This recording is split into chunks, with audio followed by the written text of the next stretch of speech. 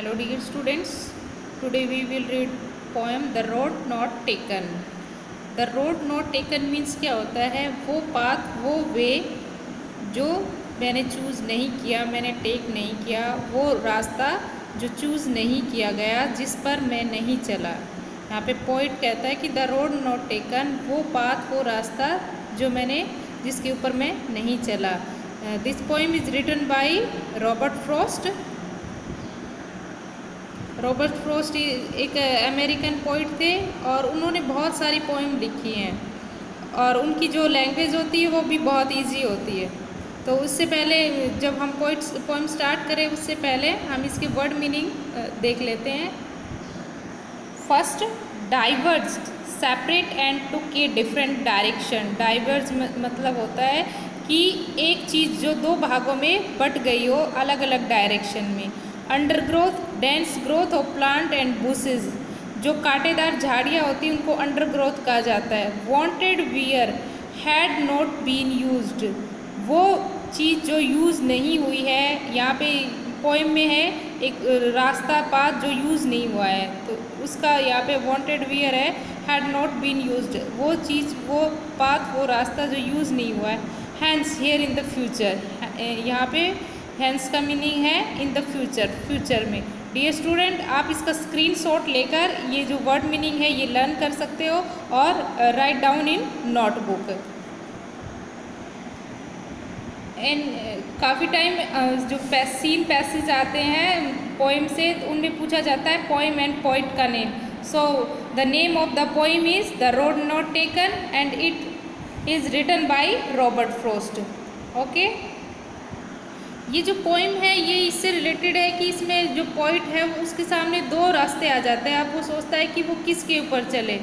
And I would ask you जब ऐसी situation आती है कि हमारे पास दो चॉइसेस होती है, आप लोगों के साथ भी ऐसी सिचुएशन आती होगी। जैसे स्टूडेंट्स हैं, वो टेंथ पास आउट होते हैं ट्वेल्थ होते तो उनके पास भी दो रास्ते होते हैं कि कौन कौन सी साइड पे जाए आर्ट्स चुने या फिर रिलेटेड टू सब्जेक्ट या कॉमर्स में जाए इसी तरह पॉइंट के पास भी दो चॉइसेस है। यहाँ पे ओनली सिर्फ़ पाथ की बात नहीं की है बल, बल्कि रास्ते की बात ना करके जो वुमेन है वुमेन लाइफ में भी ऐसी बहुत सारी बातें होती है बहुत सारी ऐसी सिचुएशन होती है जब हम हमारे हमें दो चॉइसेस चुननी होती है हमारे सामने दो चॉइसेस होती है लेकिन हमें उसमें से एक को एक्सेप्ट करना होता है एक ही चूज़ करनी होती है then you have two different choices so now let's get start poem two roads diverge in a yellow wood दो रोड है वो डाइवर्ज हो रहे हैं अल, अलग अलग रास्ते में जा रहे हैं in a yellow wood yellow wood यहाँ पे फॉरेस्ट को कहा गया है जो ऑटम सीज़न आती है उसमें पत्ते हैं वो गिर जाते हैं और जो फॉरेस्ट है वो पूरा येलो हो जाता है। तो दो रोड है वो डाइवर्ज हो रहे हैं in yellow wood yellow forest में दो रोड है, वो एक इस तरफ़ जा रहा है, जैसे एक फॉर एग्जांपल यहाँ पे पॉइंट है और दो रोड एक इस तरफ़ जा रहा है और एक इस तरफ़ तो डाइवर्ज हो रहे हैं। And sorry I could not travel both poet कहता है कि sorry I could not travel both अब पॉइंट एक है और वो दोनों भी ट्रैवल तो नहीं कर सकता। एंड बी वन ट्रैवलर क्योंकि वो एक ही ट्रैवलर है, एक ही यात्री है लॉन्ग आई स्टूड काफ़ी टाइम से वो वहाँ पे खड़ा है। पोइट काफ़ी टाइम से यहाँ पे खड़ा है और सोच रहा है कि मैं कौन से रास्ते को चूज़ करूँ। And look down one as far as I could to where it bent in the under growth और वो नीचे देख रहा है as far as I could जहाँ तक वो देख सकता था, वहाँ तक देख रहा है। और to where it bent in the under growth उसको क्या दिखता है? आगे चलकर जो पाथ है, जो रास्ता है, वो क्या हो जाता है? बेंट हो जाता है। कहाँ पे? जो अंडर ग्रोथ मीन्स जो बुसेज होती है झाड़ियों में, जाकर वो रास्ता बेंड हो जाता है। इसलिए पॉइंट को कुछ भी क्लियर नहीं क्लियरिफिकेशन नहीं है यहाँ पे कि ये रास्ता कहाँ जा रहा है और ये वाला किधर जा रहा है। इसमें देखिए स्टूडेंट्स इसमें चार one two three four four four stanza की ये हमारी पोइम है। और एवरी स्टेंजा फाइव लाइन्स है। Second then took the other just as fair थोड़ी देर में पोइट ने सोचते सोचते एक रास्ता है वो चूज़ कर लिया है। उसको जस्ट एज फेयर वो ठीक लगा दूसरे से। And having perhaps the better claim देखिए यहाँ पे प्रहप्स का भी यूज़ किया है। इट मीन्स वो इस रास्ते को लेकर कंफर्म नहीं है कि ये रास्ता उसके लिए बेटर ही होगा। बट उसने वो रास्ता चूज़ कर लिया है क्योंकि उसको वही बेटर लगा। दूसरे रास्ते से।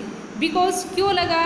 It was grassy and wanted wear though as for for that the passing there had worn them really about the same क्योंकि वो रास्ता था, वो बहुत ही ग्रासी था और उस, ऐसा लग रहा था दो एज द पासिंग देयर कि वहाँ पे ज़्यादा लोग नहीं गए होंगे।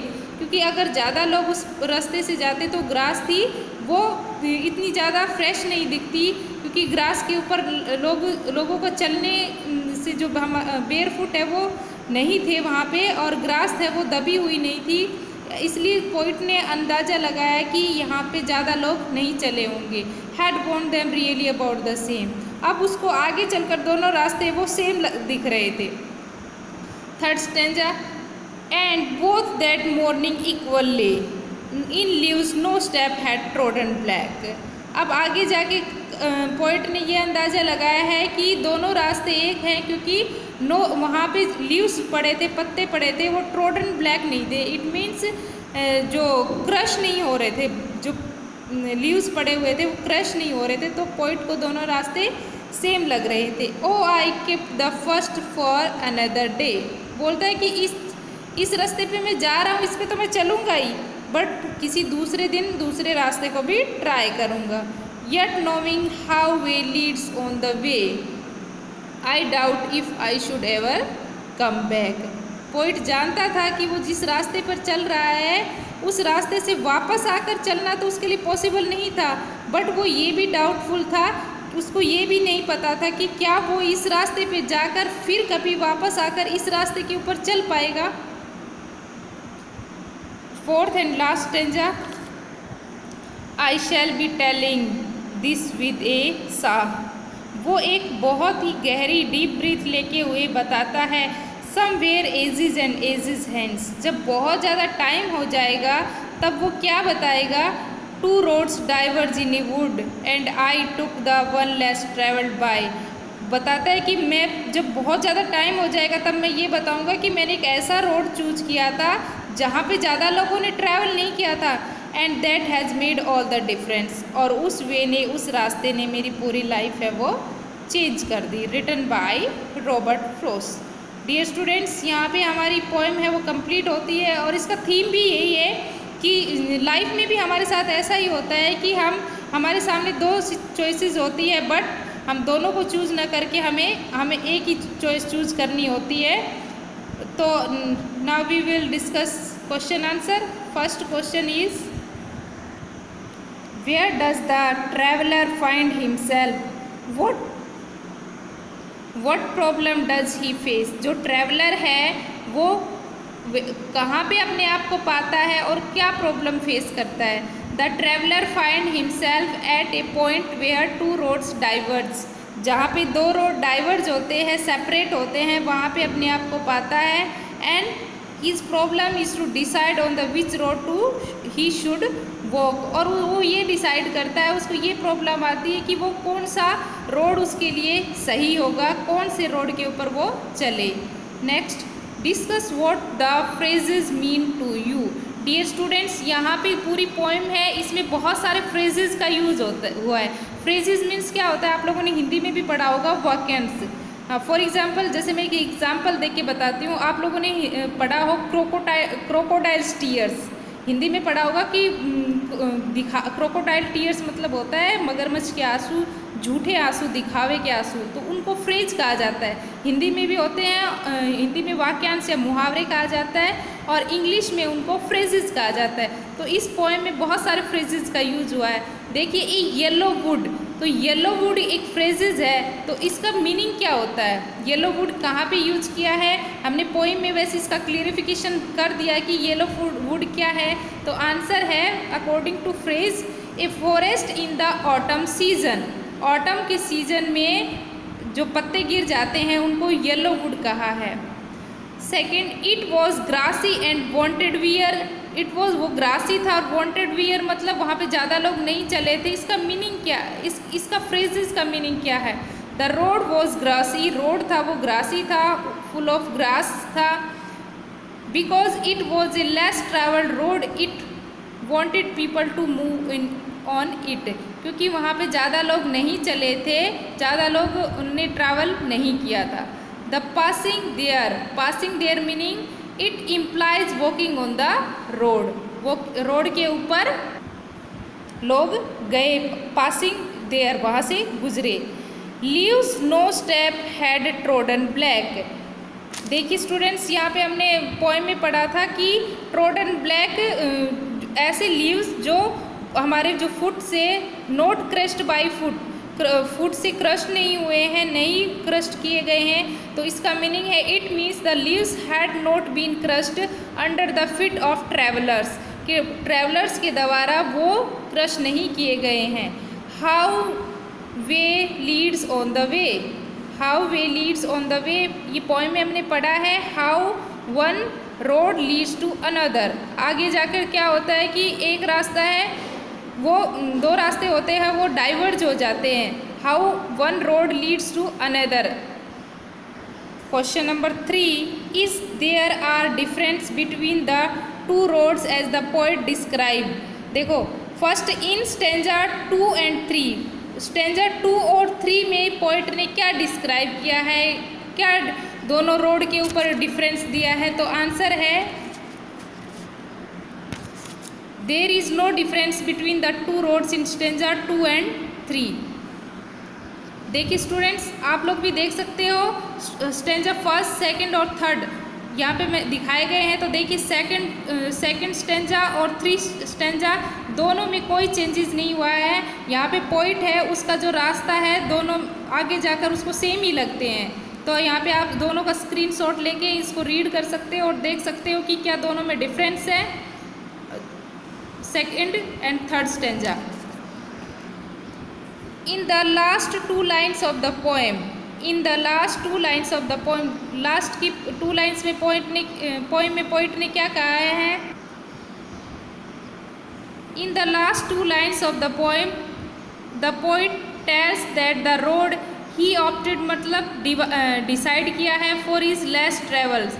Poet ने लास्ट में क्या डिसाइड किया है ऐसा वे जहाँ पे बहुत सारे लोग नहीं चले हुए हों। You can see last two lines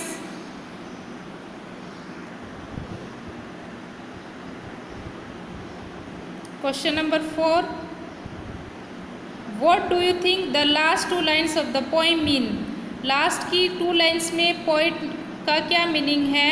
Looking the poet regret he choice और एक्सेप्ट क्या वो अपनी चॉइसेस को रिग्रेट कर देता है, नकार देता है या एक्सेप्ट करता है? Answer is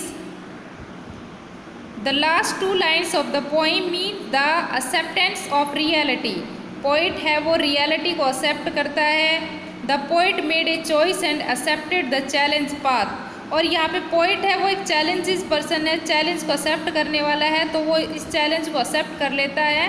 He took and unexplored path in his life और अपनी लाइफ में ऐसे रास्ते को चुनता है जो उसके लिए अननोन है, वो नहीं जानता उस रास्ते को। He wanted to do something difference in his life so he choose the less travelled road वो अपनी लाइफ में है, वो चैलेंज को एक्सेप्ट करता है, इसलिए उसने ऐसा रास्ता चुना जो सबसे डिफरेंट है और उस रास्ते पे बहुत कम लोग चले हैं। No he does not regret his choice और वो अपनी चॉइस को रिग्रेट नहीं करता है। डियर स्टूडेंट आई होप पूरी पोएम एंड पूरे क्वेश्चन आंसर आपको समझ में आ गए होंगे. So write question answer in your notebook and learn also thank you